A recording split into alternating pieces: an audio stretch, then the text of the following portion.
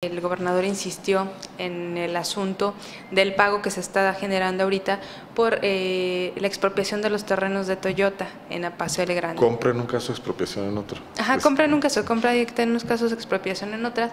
Ahí también, este, bueno, la compra directa a los pequeños propietarios, la expropiación en el caso de los terrenos ejidales que se está encargando la SEDATU. Es un proceso que ellos llevan porque al ser propiedad pues comunal, incluye ciertos trámites que deben ser desahogados antes de que se pueda dar la expropiación. Así Esto es. quiere decir que las personas tienen que demostrar que sí son partes de, de propietarios de la parte de la tierra y bueno, el SEDATU hace el trámite que por cierto ya el delegado aquí en Guanajuato dijo que estaba a punto de concluir, incluso también Rosario Robles durante su visita hace unas semanas aquí también dijo que ya estaba a punto de, darse, de concretarse este asunto.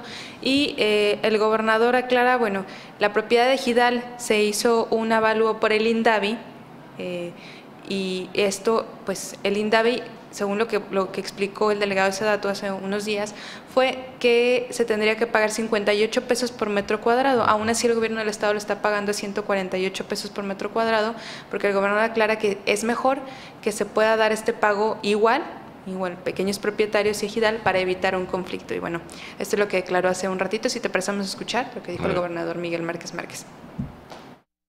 fue el subsecretario, sí, Arturo Navarro, es el de- junto con Franco Herrera, son los dos, Desarrollo Económico y Secretario de Gobierno, y están llevando a cabo este, el proyecto de Toyota. Y va caminando, y ha sido muy transparente y muy claro. Son 148 pesos, punto, no hay vuelta de hoja.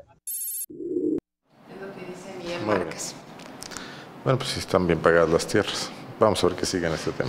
Sí, vamos a ver que sigue. Todavía le eh, va a faltar pues mucho tiempo para que concluya este, este trámite de expropiación y de compra y que se puedan ceder los Tienen que apurarse porque Toyota ya está ahí esperando con las máquinas en la puerta Sí, para yo creo empezar que a construir ya su planta. Pero bueno, todavía llevará un poco más este tema y este asunto a los terrenos de Toyota.